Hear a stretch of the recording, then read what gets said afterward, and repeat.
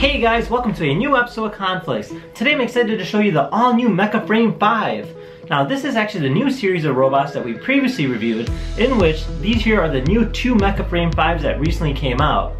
Today we'll be actually looking at Keiji, the blue version of the new Mecha Frame 5. So let's go ahead and take a closer look at the box before opening it up. Alright, so this here's our box, and as you can tell, this blue looking mecha frame, also known as Keiji, really cool looking. It's got a nice looking sword, and it's almost like a cool looking scenic background there.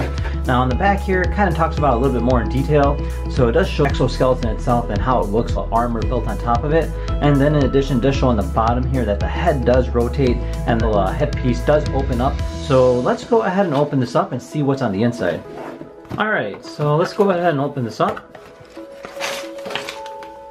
So uh, everything's kind of nicely in packaged. Alright, so this here's our instruction manual and it's actually very nicely detailed. So with that being said, uh, let's go ahead and build this.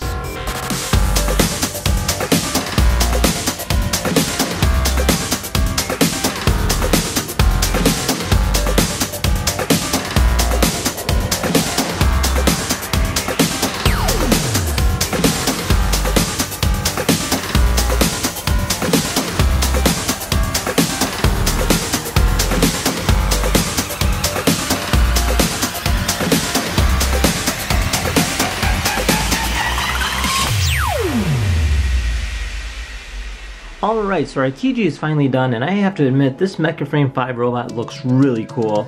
Now, they got a lot of small details in it, and the ability for it to maneuver while being able to like pose is pretty interesting. Now, so like for instance, I can actually move his arm up, and I can swivel it to the front, just like that.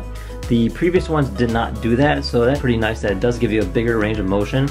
In addition, I mean, it's pretty solid, so like for instance, it's balancing on one foot, so you can do a lot of different poses with it and it's quite interesting on how they designed it.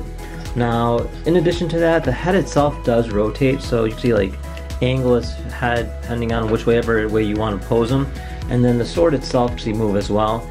So be quite interesting on how they designed this. Now, I really did enjoy this build. I think it's quite great, and the quality is really there. Now, if you have any questions about this little particular mecha frame, feel free to comment down below. Otherwise, thank you again for watching, and we'll see you guys next time. Take care now. Bye-bye.